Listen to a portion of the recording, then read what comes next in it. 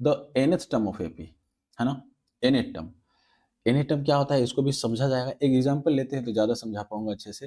तो जो मैं अब एग्ज़ाम्पल लेके चल रहा था, वो क्या था यार? Two, four, six, eight, up to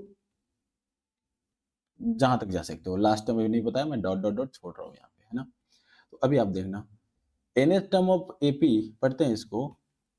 The N term of N the N N और the general form of N AP is A plus N minus one into D okay where A is the first term D is the common difference अभी आप बात कर चुके थे और आपको बता दिया था कि ए वन बराबर ए होता है। तो बेसिकली जो देखने की चीज़ है हमारे यहाँ पे जो फॉर्मूला है ना, वो इम्पोर्टेंट है।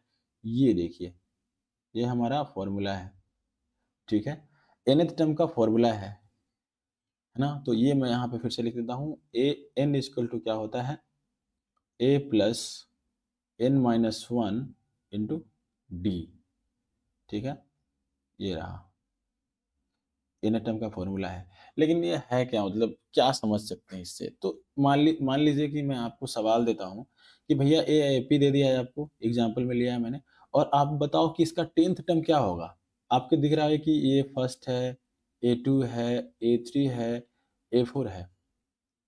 और मैं अगर छोड़िए ए फाइव तो ए टेन तो दूर है। अभी आपसे मैं पूछता हूँ ए फाइव निकालो। तो कैसे करोगे यार?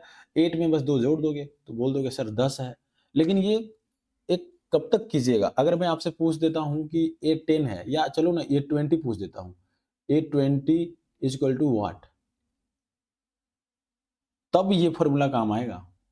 ये दिख रहा है ना? तब ये फॉर्मूला काम आएगा, ये वाला फॉर्मूला ये फॉर्मूला है ना? तो चलिए इसका यूज़ करना सीखते हैं। मेरे पास जैसे एग्ज़ाम्पल है मेरे पास, है ना? पहले तो ये जो मैंने छोटा सा एग्ज़ाम्पल लिया उसे सॉल्व कर लेता हूँ। तो ये कैसे निकालेंगे? तो मतलब जनरली ये करता क्या है? जो टर्म मुझे निकालना है, कोई हमें सवाल दे देता है कि भैया टेन टर्म निकालो, ट्वेंटी टर्म निकालो, फिफ्टी टर्म निकालो तो ये एन का वैल्यू है। तो जनरलाइज इसको हम ऐसे कर देते हैं। ए एनथ टर्म एन कुछ भी हो सकता है। जैसे मैंने यहाँ पे ट्वेंटी लिया है ना, आपको थर्टी, फोर्टी, फिफ्टी मतलब जो भी तो एन जनरलाइज किया हुआ है तो एनथ टर्म बोलते हैं इसको। एनथ टर्म कोई भी टर्म हो सकता है। वो फ़र्स्ट टर्म एन का जगह पे आप फ़र्स्ट रखो तो फ़र्स्ट टर्म हो जाएगा। एन की जगह पे ट्वेंटी रखो तो ट्वेंटी टर्म हो जाएगा, है ना? तो एनथ टर्म क्या है? एन टर्म पे पोजिशन है। एन क्या है? A one two three four क्या है? आप मान लो कि आप लाइन में खड़े हो और आप ट्वेंटी पोजिशन पे हो। है ना? तो वैसे ही ए एन का वैल्यू क्या हो जाएगा? वहाँ पे ट्वेंटी हो जाएगा। तो चलिए अब बात करते हैं, मुझे निकालना है ए एन तो इस, एक मेरे पास एग्ज़ाम्पल है है ना? थोड़ा अच्छे से समझ लेंगे। एक क्वेश्चन है मेरे पास। तो मैं यहाँ पे इसको खींचता हूँ। देखिएगा, आपको दिख रहा होगा।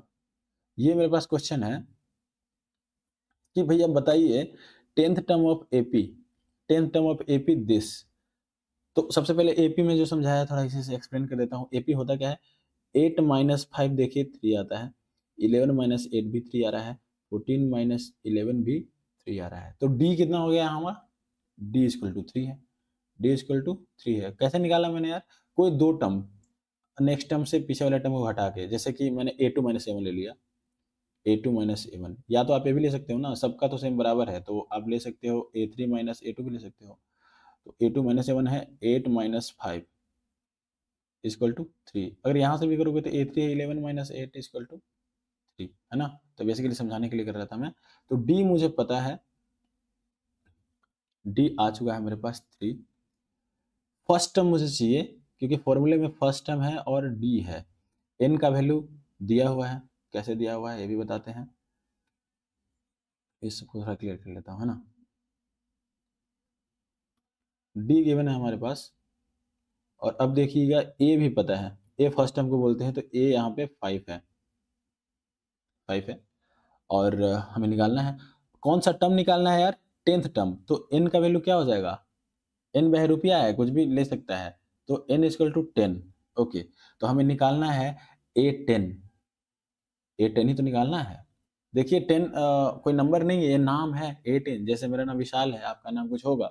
एक्स वाई जेड तो ये बस एक नाम है, इसको मैंने देखा है, बच्चे सॉल्यूशन में ले लेते हैं, इसको सॉल्व करने लगते हैं इसको। नहीं नहीं, ये तो नाम है बस।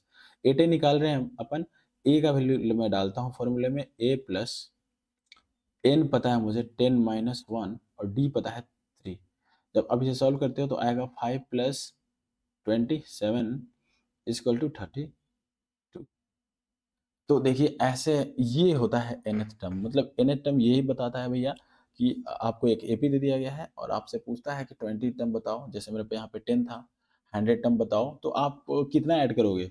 एपी में डी डी ऐड करके भी ला सकते हैं, बट कब तक ये पॉसिबल है?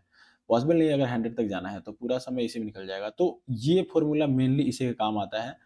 डायरेक्ट उस टर्म को हम निकाल सकते हैं ए और डी का यूज़ करके, जो टर्म हमसे पूछा गया है, ठीक है? तो ये था एन टर्म का कॉन्सेप्ट यार। अब बात करते हैं समेसन का। समय